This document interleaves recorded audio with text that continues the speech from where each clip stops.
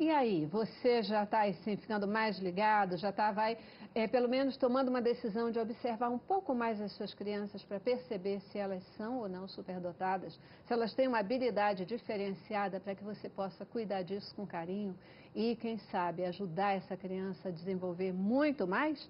Como é que se faz, assim, a comprovação? Tipo assim, não, mas ela se destaca. Mas como é que a gente chega a uma confirmação de que a criança ela é superdotada? É o teste de QI? Na verdade, o teste de QI pode dizer que ele é altamente falho. Uhum. Tá, eu, por exemplo, eu sou de física, eu já fiz teste de QI, de um valor consideravelmente alto, mas que fique claro, é porque a avaliação ela me favorece. Uhum. Porque o teste de QI, ele foi feito basicamente, é um é testezinho que envolve linguagem, lógico, é, lógica matemática direta, mas você está pegando ali um tipo específico de inteligência. Uhum. Por exemplo, você pode ter um apresentador de TV que de repente aparece lá com o QI baixo, entretanto, você coloca o. pega agora o camarada da lógica matemática, ele não apresenta um programa de TV, da mesma forma que o apresentador de TV, de repente, ele não lidaria com um acelerador de partículas. Uhum. Ou seja, a questão é, existem áreas.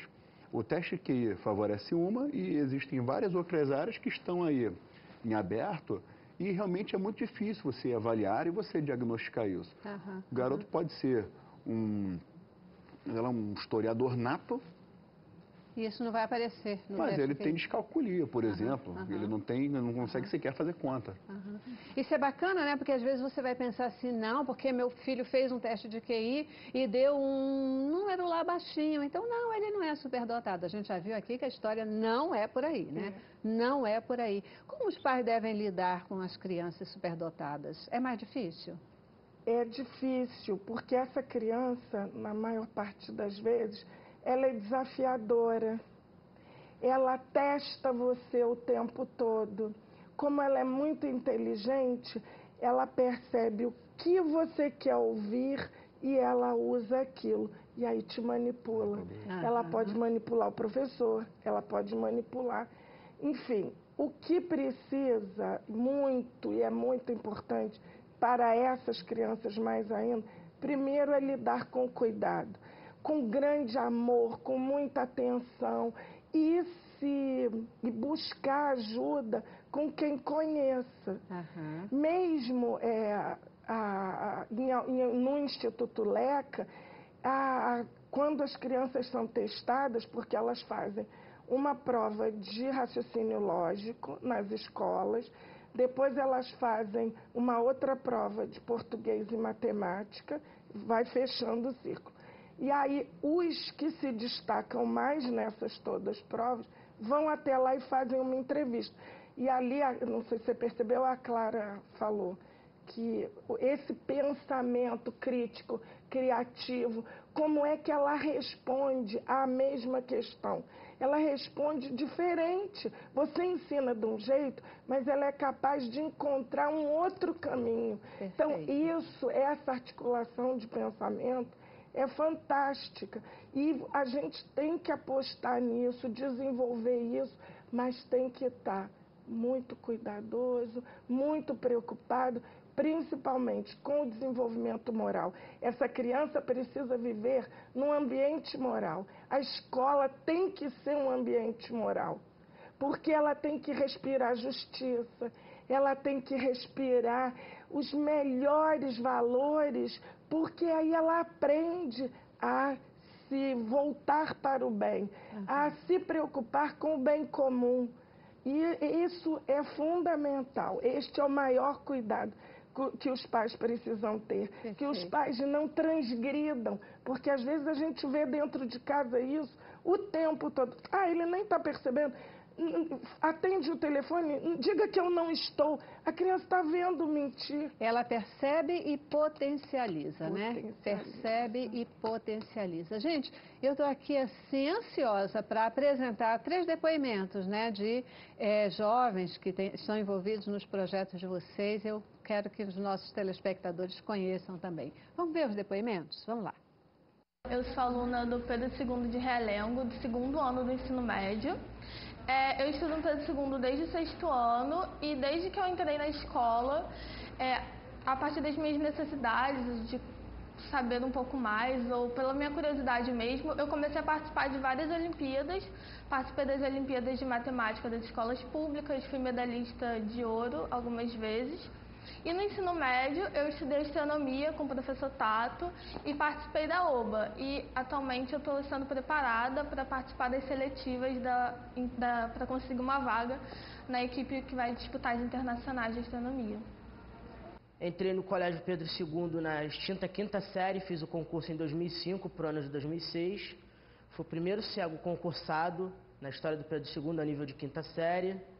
E minha trajetória foi essa, basicamente, com alguma dificuldade por conta de não ter adaptações, que na época, como eu fui pioneiro, os professores buscaram todos esses recursos fora da instituição, com atividades, com coisas novas que pudessem atender às minhas necessidades por ser um, uma pessoa com deficiência visual, já que eu sou cego de nascença.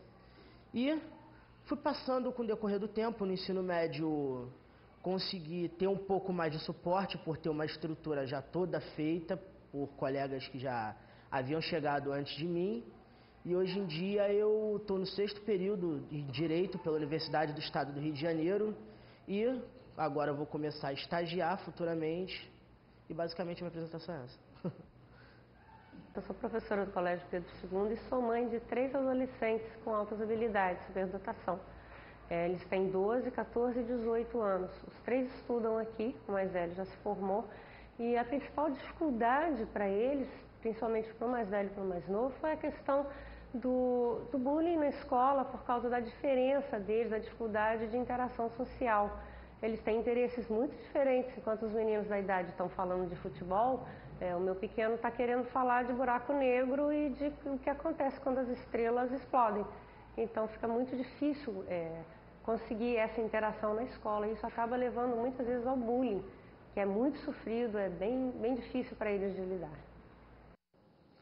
Muito bacana, né? Muito bacana, muito bom da gente ver. Quer dizer, a Elisa é, é a tua aluna, né? Elisa, sim, a Elisa é minha aluna.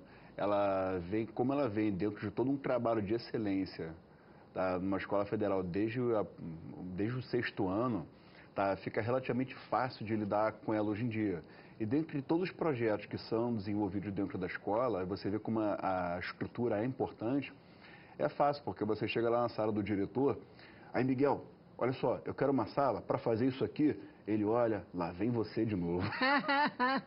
Mas como apresenta resultado, né? Fica bacana, fica bacana. Não, né? ele, é, ele é super, é. quando ele não pode resolver, ele passa para outro. No final, uhum. ele sempre resolve, ele dá o jeito dele, Maravilha. atende as nossas necessidades enquanto professores, para que a aluna possa chegar até aquele ponto. É, é todo um trabalho coletivo para isso. Verdade. No caso do Dieguinho, que apareceu ali, o Dieguinho chegou para a gente, ele era uma criancinha que tinha metade da minha altura, hoje em dia ele é do meu tamanho.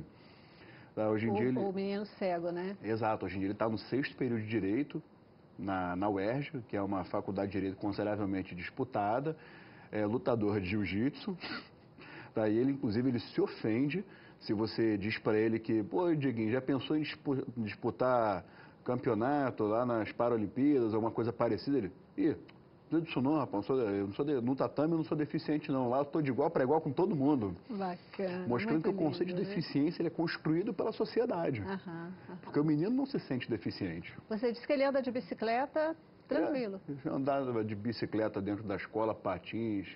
É, ele parece até aquele um personagem de, das histórias em quadrinhos, o Demolidor. Ele, com apenas com som, ele, às vezes ele vai identificando e vai, e vai se distanciando das pessoas. Que maravilha, que maravilha. É, assim sobressai um jovem e uma jovem num lugar inclusivo. Porque mesmo no Pedro II, a, a mãe referiu que o filho sofria bullying. E sofre mesmo. Um grande problema cruéis, né? dessas, desses, dessas crianças jovens e às vezes adultos mesmo, ele não quer ser diferente do grupo. Uhum. Muitas das vezes eles fazem a prova errada embotam o conhecimento para não ser discriminado dos colegas. Aham. Olha, porque a atenção tem que ser redobrada. E uma coisa muito, muito grave, muito importante de ser vista é que toda essa potência, se ele não for muito bem cuidado, ele pode jogar contra ele mesmo Aham. e ficar doente, e entrar em depressão, suicídios. Aham. Então, todo cuidado e muito cuidado merece essa criança. Perfeito. Eu tenho um pouquinho de tempo para terminar esse bloco, mas é, eu consigo passar o vídeo ainda, o outro vídeo que a gente tem? se for possível, vamos rodar o vídeo, porque eu acho que ele tem coisas tão bacanas também, né? E, e, e, e a gente. Então a gente vai fazer o seguinte: a gente vai para o intervalo e a gente volta e vê o vídeo no próximo bloco, tá bom? Tá. É, porque ele é fundamental, mais uma vez, mostrando o trabalho belíssimo que é feito nessa questão dos superdotados. Intervalo, voltamos já já.